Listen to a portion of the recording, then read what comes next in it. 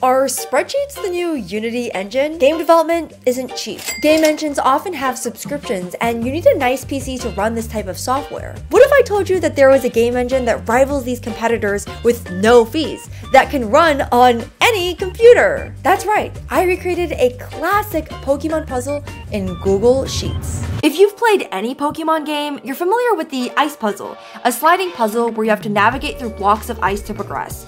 Using each cell as a tile, we created a map for one level, designed the puzzle, and pulled it off with flying colors.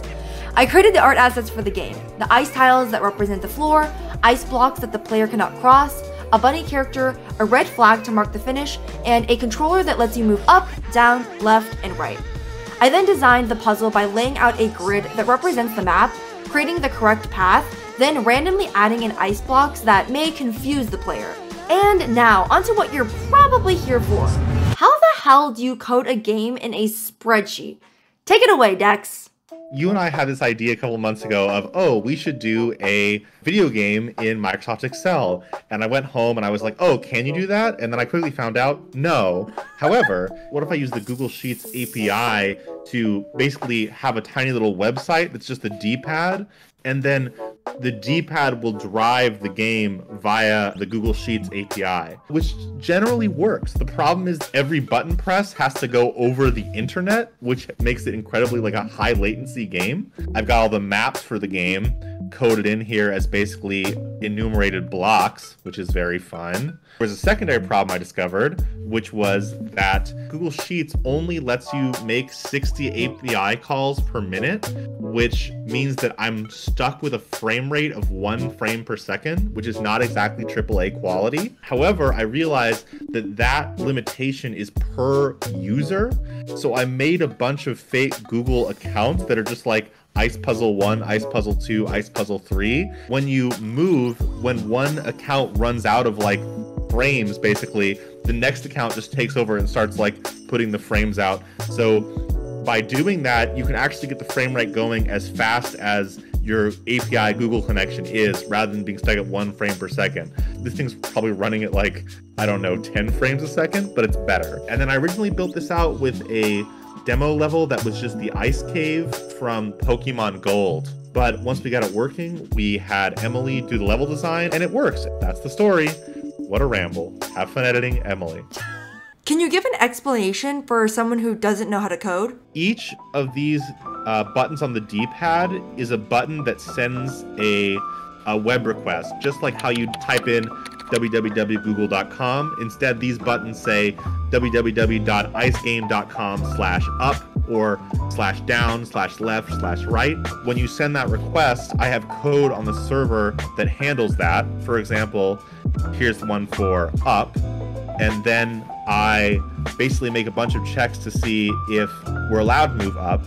I basically tell the Google spreadsheet, hey, move the image of the bunny one unit up. And then it keeps doing that until we're not allowed to move up, either because we've hit we've hit a wall or something usually. And then once you do that, it kind of says, okay, await the next command, and then you can punch in another button, makes another web request, and the process repeats. Time to subject my friends to playing this game. So the goal is to move the bunny to the red flag and note that when you move in a certain direction, you're going to move all the way in that direction until you hit an ice block. There you go. 60 frame rate. You know what? It's uh, one of the most well optimized games I've seen in recent memory. God, I wish I were better at puzzle games. uh, alright. Let's just move you back. Oh, alright. I got it, I got it. We're good. Yay! Easy. Okay, I, th I thought I was like, what is the second level? what is this? Okay, we're good. For being made in Excel, incredible. You know, the story enthralled me. The um, the graphics, next gen. Truly, I mean, the best thing I've seen graphically since DOS. You know, coming out on the Switch too. Uh, you hear that, Nintendo? Where's the camera? You hear that, Nintendo? Ice game on on Excel is gonna be your next big hit. You're sleeping on something incredible. Want to make a game in Google Sheets but don't know how to code? Brilliant has you covered as it's a free and easy way to learn math, data science, and computer science interactively. Brilliant has thousands of lessons that can help you learn coding every day. Regardless of your skill level, Brilliant has tutorials to fit your needs and has new lessons every month.